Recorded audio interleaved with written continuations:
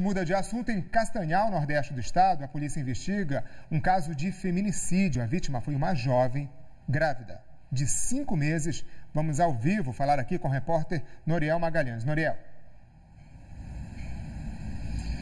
Boa tarde, João. Boa tarde a todos. É isso mesmo. De acordo com a Polícia Civil, esse crime aconteceu ontem no bairro Heliolândia, na periferia de Castanhal.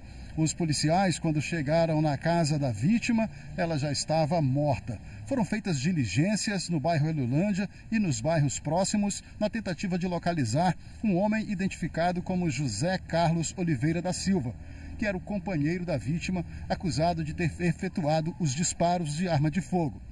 É, o delegado da Superintendência Regional do Salgado, aqui em Castanhal, falou sobre esse caso. Ouvindo testemunhas do local do fato, ficou claro para nós que ela já vinha sendo ameaçada por ele, mas não, não conseguiu se desvencilhar dele, dessa relação doente, doentia, com graves crises de ciúme e confusões generalizadas. Infelizmente, ele estava envolvido com um elemento que já tinha várias passagens pelo sistema penal aqui do estado do Pará, duas por porte de arma de fogo, duas por tráfico, e as diligências continuam. É isso, as diligências continuam realmente, de acordo com a própria Polícia Civil. O Carlinhos, como era conhecido, é considerado foragido e o flagrante deve ser continuado.